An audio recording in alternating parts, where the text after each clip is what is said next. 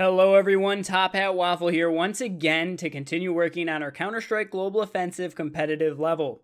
Today we'll be putting some lighting effects and looking further into lighting in our level. We're going to continue working off the level DE Metro that we've been working on, and we're going to pick up right where we left off after we placed some basic lighting entities inside of our map. To load the SDK tools, we go to the Tools section on Steam under your library, the CSGO SDK, and then Hammer World Editor. Once that's loaded, go ahead and load up your map, and we can begin. The first thing we're going to take a look at is Envy Sprite. Envy Sprite is a sprite texture that's placed in the world free floating. It's used a lot for lighting effects and glows around props in your level. We will add a basic glow sprite around this light model here with this regular light entity. To start off, select your entity tool and then drop a new entity on the ground. Double click it to bring up its object properties and change its class to NV Sprite. Once we make it an NV Sprite, we'll have this little red box with a white circle on the inside and a black circle all around it. This is the default for a NV Sprite. We have to change its render mode to be able to get rid of this blackness behind it. When doing sprites with the purpose of lighting, there's two render modes that we'll typically use. The first one is World Space Glow. This retains a set size and will not appear to get smaller or larger when you move forward or away from it. As soon as we change our render mode to World Space Glow and click apply, the blackness around the sprite disappears. The other option that we can use is Glow. What the glow option does is it has the sprite retain the same size in the world no matter how far away from it you are. This gives you the illusion that when you're further away from the sprite, it's larger, and when you're closer to it, it's smaller. This is good to draw the player's attention to certain areas in the level. Let's set its render mode to World Space Glow and click Apply. Next, I want to set the scale value. By default, the scale is blank. If we type 1 in and click Apply, the sprite will get rather large. This does accept decimal values, so you can fine tune how big you want the sprite to be. 0.75 should be about the right size for this light model. We can also set the color value of the sprite. I find it easiest to just use the color value of the light entity that I'm pairing the sprite with. So if I select the brightness value of the light, just the RGB section, and then set that in the FX color on the sprite, and then hit apply, if we scroll down to sprite name, the default is glow01.spr. There's a large amount of sprites that we can choose from, and there's a number of preset glows that we can use. The glow that I'll use is Sprite Glow 06. When we click apply, the sprite will change slightly. Next, let's put the sprite into place. You'll just want to take the sprite and place it inside of the bulb of your light model. One setting that we want to take note of is the size of glow proxy geometry. What this value means is how much geometry should the sprite ignore to render over. We need to tell it that it's okay to render itself through this many units of geometry. By default, it's set to 2. I'll change this value to 4 just to be safe. If your Envy sprites aren't showing up, this is probably the reason. Next, I'll copy this entire sprite system and just shift drag it over. And I want to take a look at the FX amount. The FX amount value is essentially how much alpha the sprite has. It has a default of 255, which is full. To show you guys how this operates, I'll change it to 100 so we can see the difference. You won't be able to tell the FX amount from inside of Hammer. Click Apply, let's close that out, and let's see how it looks in game. Remember that every time you compile for lighting in CSGO, you need to use the full compile HDR only preset. Here we are in game looking at our Envy sprites. We'll notice that the one light with the higher render effects has a much stronger glow around it from the sprite. Part of this is due to how HDR is currently configured. We'll configure HDR in the next lighting video since that's more of an advanced thing. If we no clip up to these lights, we can see the sprite around them. And if we just want to make sure that they're working, we can type R draw sprites 0 to turn the sprites off. We can see that the glow around both the lights disappears as we toggle this on and off. Envy sprites are a great way to make regular lights look a lot better. Playing with their render amount is also a very great way to add subtle detail into your level, though over here 100 was probably a bit too low. The next entity that I want to look at is called the Point Spotlight. The Point Spotlight doesn't generate any light, it just does a beam effect and a strong glow when you look directly at it. This is similar to how a streetlight could look when casting light down into the street on a foggy night. We already have our floodlight model here that utilizes two light spots and it's inside of an instance. I'll open up this instance, click edit, and we can add the point spotlights in here. I'll select this one light spot and just shift drag to make a copy of it quickly. Open its object properties and change its class to point spotlight. Click apply and we'll notice that its angle is pointing up slightly. This is a small, tedious little issue that when we copy the light, it flips from pointing down slightly to now pointing up.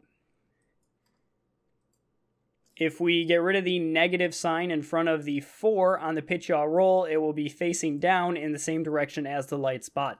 Next thing I want to do is put it in place in front of the light model. You'll notice I have snap to grid off and the object still sort of moves on a grid. This is because with snap to grid off, the smallest grid size is still 1. If the grid size of 1 is not small enough for you, you can hold the Alt key on your keyboard to fully unlock the object from the grid. This should not be used with brushes and only with entities, as moving brushes on the decimal size of the grid can cause issues down the line when you save your file. It's okay with entities, because if an entity moves a small fraction of a decimal, it's not going to hurt the visibility engine. So I'll hold Alt and put this in place right in front of the grill of this light model.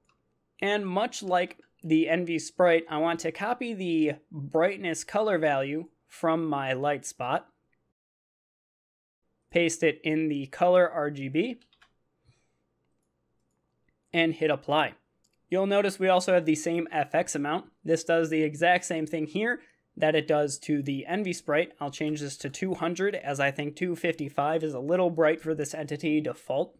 And down towards the bottom we have Spotlight Length and Spotlight Width. This is obviously the length and width of the spotlight. There's no way to visualize this inside of Hammer. I find it easier to set a value that you think may work, then slowly tweak it over a few compiles.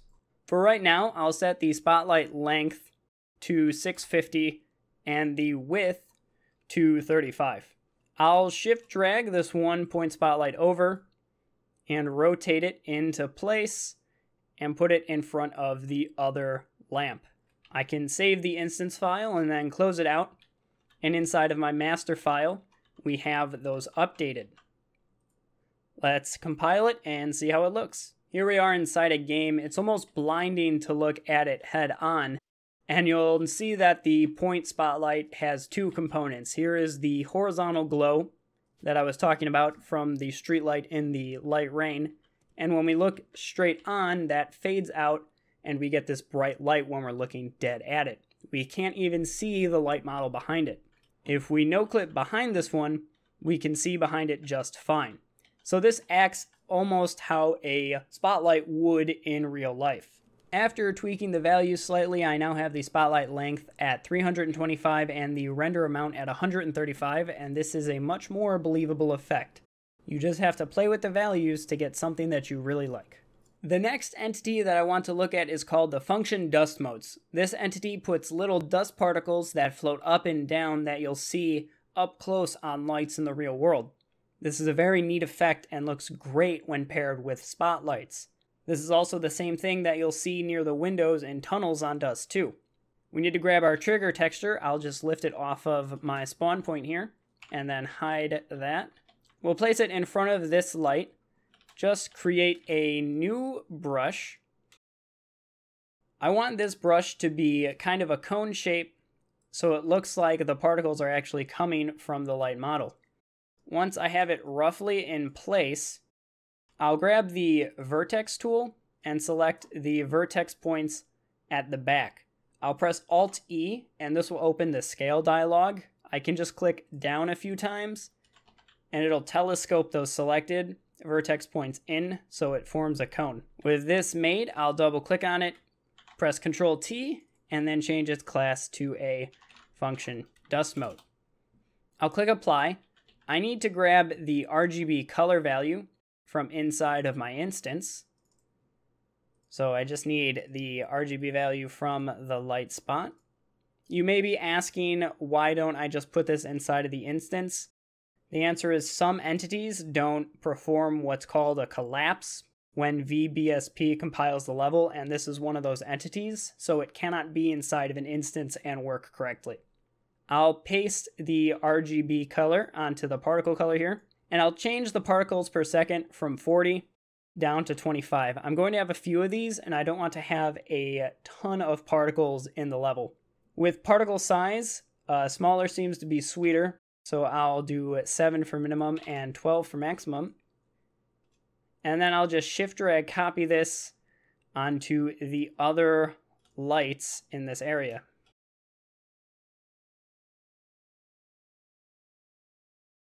These don't need to be aligned perfectly. Since they're particles, they'll just spawn inside this volume and they'll go a little bit out. No one's going to notice if it's a little bit of a unit off. Let's go ahead and compile that so we can see what it looks like. So here we are in game. If we take a look at it, we can see that the particles are kind of going a little wild.